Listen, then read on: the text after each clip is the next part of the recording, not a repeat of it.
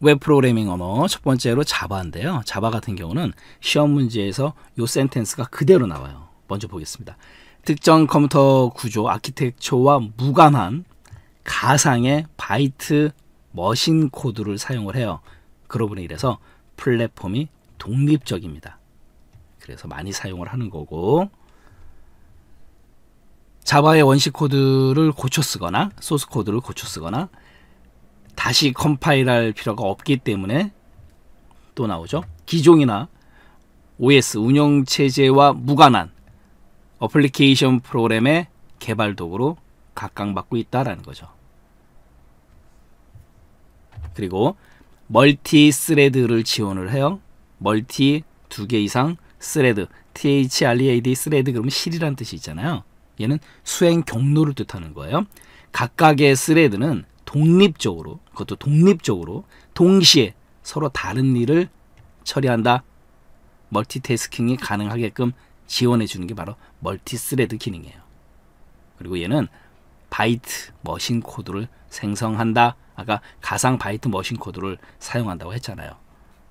이게 바로 자바 언어고 또 이번에는 ASP인데요.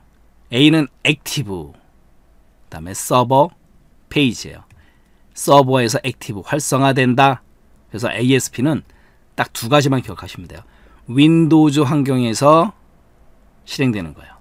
윈도우즈 환경에서 동적인 웹페이지를 제작할 수 있는 스크립트 언어이고 그 다음에 서버 측에서 active server 서버에서 실행이 됩니다. 요거 시험지 잘 나와요.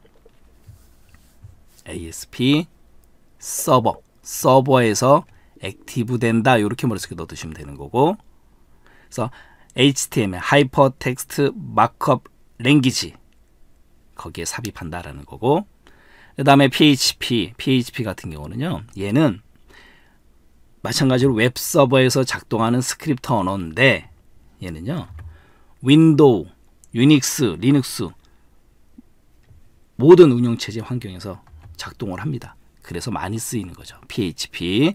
아까 ASP는 윈도우즈 환경에서만, PHP는 유닉스, 리눅스, 윈도우 다 가능합니다. 조심하셔야 되고, 그 다음에 JSP, JSP는 ASP, PHP 방금 전에 배운 PHP와 동일하게 웹 서버에서 작동하는 스크립트 언어예요. 다음 중 자바 언어에 대한 설명으로 옳지 않은 것을 골라라 라는 거죠. 첫 번째, 객체 지향 언어로 객체 지향 언어로 자바 언어는 추상화 이제 간단하게 하는 거죠. 상속화 물려주는 거죠. 다형성 여러 가지 성질을 갖고 있는 거죠. 다형성과 같은 특징을 가진다 맞는 거. 그러니까 객체 지향 언어의 특징이에요. 추상, 상속, 다형 이런 것들.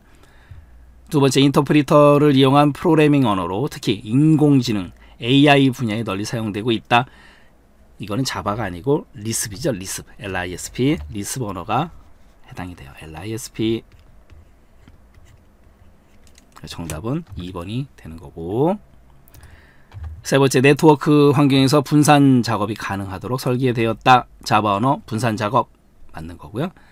네 번째 특정한 컴퓨터 구조와 무관한 가상의 바이트 machine 코드를 사용하므로 플랫폼이 독립적이다. 요거 말씀드렸잖아요. 요 sentence 그대로 시험 문제 언급을 잘합니다라고 말씀드렸잖아요. 매우 조심하셔야 돼요. 그래서 특정한 컴퓨터 구조와 무관한 가상의 바이트 machine 코드를 사용한다.